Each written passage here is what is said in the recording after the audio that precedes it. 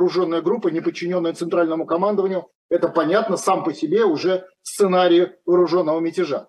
Установка на стабильность, она не приведет как бы, к победе, потому что она сама по себе защитно-оборонительная.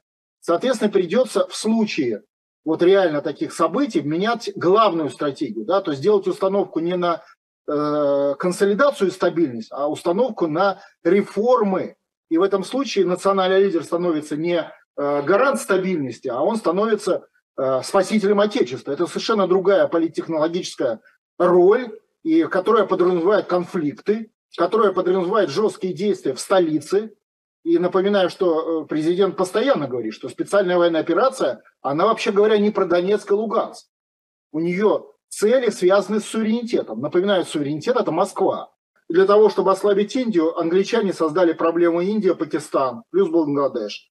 Для того, чтобы ослабить нас, создали проблему Россия, Украина. Для того, чтобы ослабить Китай, создали проблему Тайвань, Китай.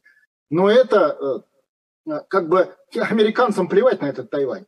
Так же, как плевать на Украину, это очевидно что делать для того, чтобы не допустить э, готовящегося американцами госпереворота в России, о чем сказал э, Сергей Лавров э, сегодня. И вот на кого, на ваш взгляд, они могут делать ставку, если это, скажем, те же вот так называемые рассерженные патриоты, их могут использовать в темную, но ведь могут быть и внедрены в информационное пространство агенты, да, которые ну, под видом радикальных патриотов будут вести борьбу на, вот, собственно, разрушение. А, да, я согласен э, с вашими экспертами, которые говорят о том, что будет ставка на них.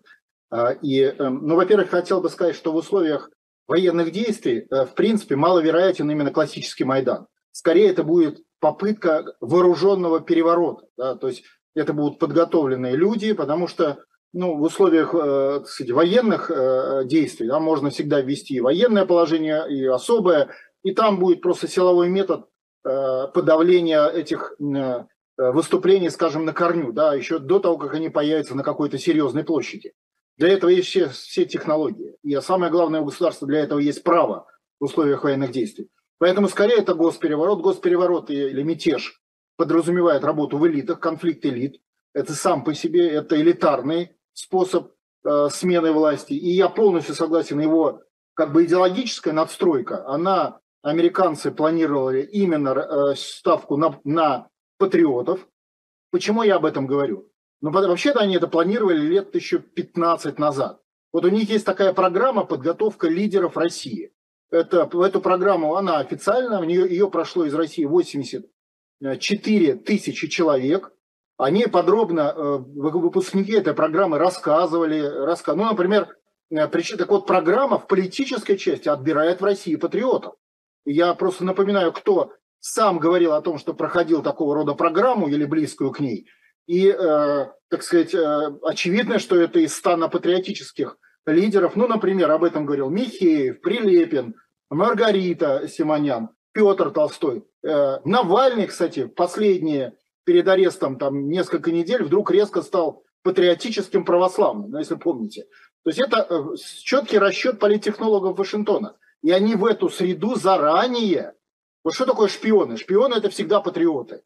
Вот просто посмотрите речь Вышинского на, в колонном зале Союзов, когда он разоблачал шпионов в период там 37 года, например. Очень хорошая речь. Она вроде бы, ее на нее редко ссылают. Там прямо говорится, вы все маскируетесь под двойных, под тройных патриотов. Так что ничего нового здесь нет. И американцы эту технологию знают не хуже. Поэтому я бы не сказал, что это в лидерах будут искренние патриоты. Это будут именно шпионы, которые ведут патриотическую риторику, которые имеют элитарную поддержку, которые имеют поддержку средств массовой информации э, и э, социальных сетей, контролируемых Соединенных Штатов Америки. Привет Ютубу, который так никто и не смог, так сказать, конфисковать или что-то с ним сделать. Да на самом деле и Телеграм, и все остальные, они просто добрые и злой полицейские, но они все находятся под юрисдикции иностранных государств под контролем США. Своих-то у нас практически нет. И вот этот момент, он будет ключевой здесь. Плюс деньги, плюс манипуляция через санкции элитами и э, постановка перед ними условий да, их существования, использования имущества и всего прочего. Так что формат достаточно понятен.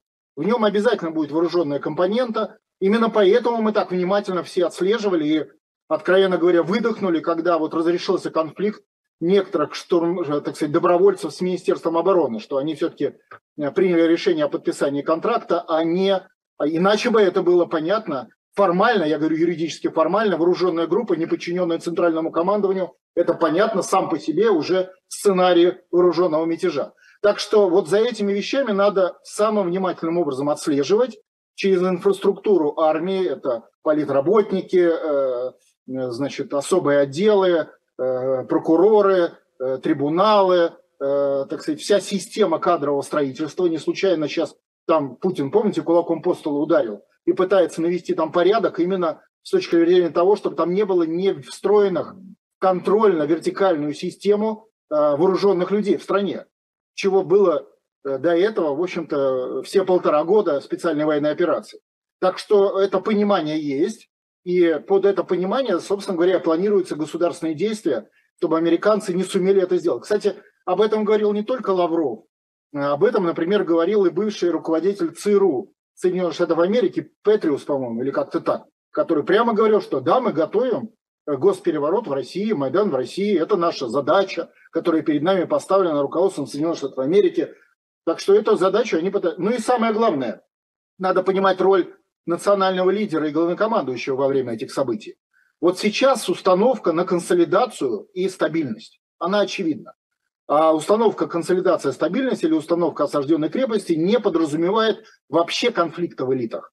То есть как бы все хорошие, даже которые не очень хорошие, как бы, они все равно хорошие, им и дается шанс и так далее. А в этом случае, э, но эта установка на стабильность, она не приведет как бы к победе, потому что она сама по себе защитно-оборонительная. Соответственно, придется в случае вот реально таких событий менять главную стратегию, да, то есть сделать установку не на э, консолидацию и стабильность, а установку на реформы. И в этом случае национальный лидер становится не э, гарант стабильности, а он становится э, спасителем Отечества. Это совершенно другая политтехнологическая роль, и которая подразумевает конфликты, которая подразумевает жесткие действия в столице. И напоминаю, что э, президент постоянно говорит, что специальная военная операция, она вообще говоря не про Донецк и Луганск. У нее цели связаны с суверенитетом. Напоминаю, суверенитет – это Москва.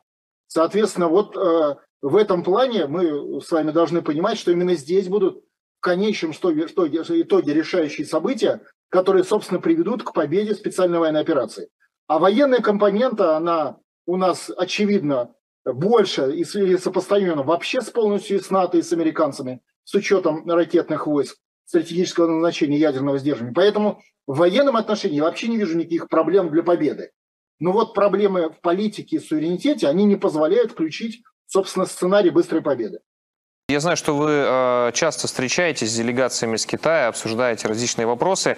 Вот на ваш взгляд, да, вот пойдет ли действительно США и Китай сейчас на сближение? Потому что если посмотреть э, китайские телеканалы, послушать э, лидеров, которые высказываются очень часто в геополитической ситуации, то они всецело поддерживают Россию в борьбе с, против гегемонии США.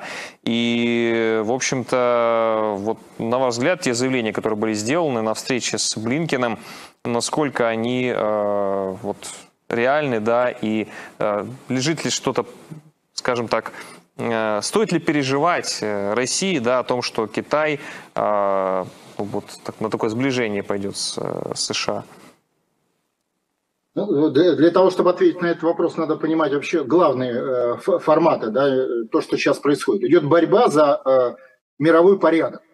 Американцы, естественно, защищают порядок однополярного мира, который у них с 91 года, и который, по сути, есть американская империя, в которой все содержат э, иностранные государства. Например, Россия, обратите внимание, Владимир Путин на э, форуме питерском говорил о так называемых э, э, э о покупательной способности, да, по покупательной способности России. Так вот, Россия потребляет полтора процента мирового ВВП, а производит три.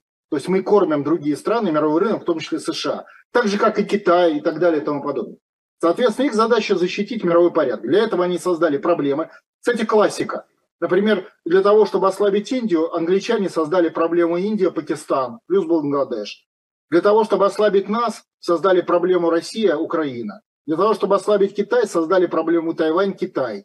Но это э, как бы американцам плевать на этот Тайвань. Так же, как плевать на Украину, это очевидно.